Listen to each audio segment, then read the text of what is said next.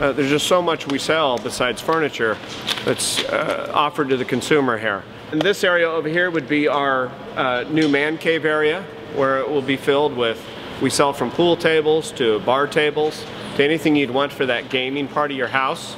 There's 109 dishwashers, 206 refrigerators, 76 laundry pairs, and 220 different cooktops. We're loading the floor timely because we're training thousands of staff how to do their jobs. So as we complete the store, they're learning at the same time. The treehouse will feature uh, digital media blow that'll feature children's movies and activities for kids.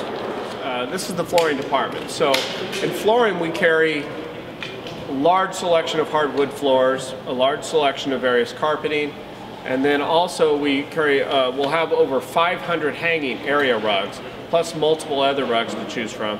And additionally, we'll also offer granite sails and tile to complement the home from your backsplashes to your flooring.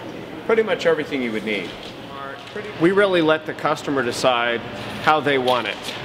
In other words, we have 2,200 parking garage stalls here.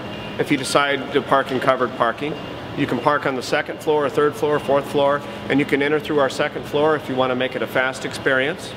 On the other side of the coin, if you prefer to park in surface parking, we have another additional 2,000 parking stalls, and you can spend the entire day here.